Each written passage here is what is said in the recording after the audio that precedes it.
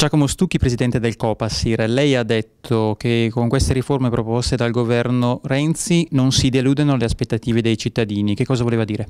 Ma sostanzialmente che i cittadini credono che ci sia la possibilità di cambiare la Costituzione, ma naturalmente la cosa deve essere fatta in modo serio, non devono essere solo interventi di facciata che magari è facile twittare per ottenere un consenso nell'immediato, ma che poi si dimostrano inefficaci inefficienti per dare risposte ai cittadini e quindi ci si prende il tempo necessario e si fanno delle riforme che effettivamente rispettino i territori, rispettino le esigenze dei cittadini e siano condivise proprio perché i cittadini vengono informati sulle finalità delle stesse. E a questo proposito lei ha detto che bisogna fare le scelte giuste per poi non doverle cambiare. Che cosa vuol dire?